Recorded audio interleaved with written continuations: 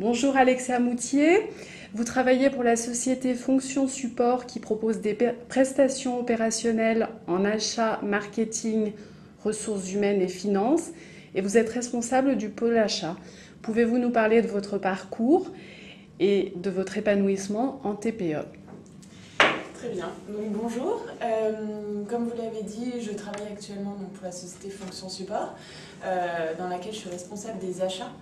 Mais avant cela, euh, je n'étais pas du tout destinée d'une part aux achats et d'autre part à, une TPE locale. puisque j'ai fait donc une formation en marketing, communication initialement dans le secteur textile, donc j'étais à Paris. au fil de mes expériences et notamment de, de stages et de, d'emploi que j'ai eu pendant euh, ces trois années d'études post-bac, euh, j'ai découvert euh, le métier de la gestion de la relation de fournisseur et notamment via la coordination de production, approvisionnement et les, logiques achats qui en fait m'ont ouvert le, champ de, ces compétences-là en me disant que dans ce que pouvait proposer une entreprise, la partie achat me plaisait par sa diversité, les interlocuteurs, l'interaction aussi avec les, personnes en interne euh, et, le relationnel à gérer envers l'externe de l'entreprise.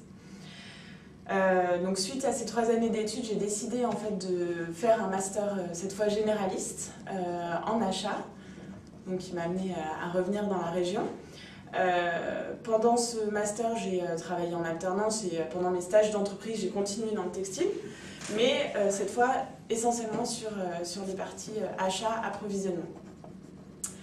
À l'issue, j'ai travaillé chez, chez Rossignol, qui m'a embauché donc, suite à, mon diplôme, où j'étais en charge donc, des achats textiles pendant plus de deux ans. Et j'avais rencontré à, cette, à la période de mes études les deux dirigeants actuels de fonction support, qui euh, me parlaient euh, de leur projet depuis, euh, depuis un moment, et notamment de la dimension achat pour laquelle ils, souhaitaient que je prenne en charge le pôle de service. Donc on a construit cette aventure-là ensemble, initialement ben, un choix difficile entre guillemets à faire oui et non, mais tu as décidé de partir d'un groupe comme Rossignol où on a pas mal d'assises, où l'ambiance est plutôt sympa et, et le, le, travail était agréable, pour se lancer dans une aventure plus entrepreneuriale. Et cette fois, euh, où tout était à construire, rien n'existait, notre métier euh, en tant que prestataire de services sur ces fonctions-là est quand même nouveau, euh, même si on voit l'émergence de, ces, fonctions-là dans, des sociétés qui existent déjà. et donc se lancer dans, cette aventure, on était quatre, on travaillait ensemble dans le bureau de l'un des dirigeants chez lui, donc c'était un, grand changement. Mais euh, on a tout construit ensemble et aujourd'hui on sait pourquoi on a fait ça puisqu'on est 17 euh, actuellement. On a une agence à Lyon, une agence à Grenoble, euh, Grenoble qui est l'agence historique. Et l'objectif est de développer des modèles similaires à celui de Grenoble, c'est-à-dire environ une dizaine de consultants sur des bassins économiques similaires à celui de Grenoble, voire un peu plus gros, par exemple Lyon, et de développer ça sur l'ensemble du territoire. Euh, on a donc euh, sur le métier à proprement dit, mon métier en tant que responsable de pôle, euh, on réalise, alors déjà chez nous, pour savoir prestation de service, on a dit prestation opérationnelle dans les fonctions que vous avez citées. On a différents formats par lesquels on intervient dans les entreprises à travers notre société, à savoir, euh, ça peut être des projets très ponctuels, type euh, faire un bilan social en RH, euh, conduire un audit achat pour, pour voir comment la, la, société s'organise et dans quelle mesure est-ce qu'elle pilote sa fonction achat. Ça peut être également des projets de professionnalisation. Donc là, vraiment, on arrive dans une société dans laquelle la fonction achat est déjà existante et nous, on les aide à passer une marche en termes de maturité.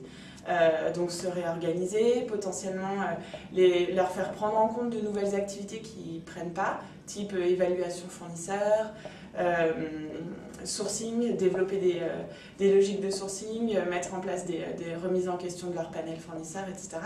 Et là, on est plutôt dans de la construction, de l'accompagnement à changer leurs habitudes de travail et à gagner en performance. Et dernier, dernier format sous lequel on intervient qui s'appelle l'assistance opérationnelle. Là, c'est vraiment prendre en charge des activités achats. Une société vient nous voir et nous dit Moi, j'ai besoin de revoir tous mes achats production, euh, j'ai pas le temps, mais les ressources en interne ne euh, euh, sont pas du tout câblées pour faire ça. Prenez en charge ces chantiers-là. Donc, on va mener des consultations pour revoir leurs achats de transport, revoir leurs achats d'assurance locaux. Ça peut être aussi des achats beaucoup plus techniques où on va faire du redesign to cost avec, avec les équipes bureaux d'études, méthodes, etc. Et donc dans ces trois formats-là, on intervient auprès de tout type d'entreprise. Donc je suis dans une TPE actuellement, on est 17. Par contre, j'interviens dans des sociétés dans lesquelles il y a des services achats de 10 euh, personnes euh, qui ont euh, entre 20 et 200 salariés, voire même plus gros, puisque quand on est sur de l'assistance opérationnelle, pour prendre en charge des activités achats plus opérationnelles, on travaille par exemple avec Bayer à Lyon, euh, donc euh, groupe mondial euh, avec plus de 10 000, employés à son actif au niveau international. Donc on travaille vraiment avec tout type de clients et dans tout secteur. On ne veut surtout pas se restreindre.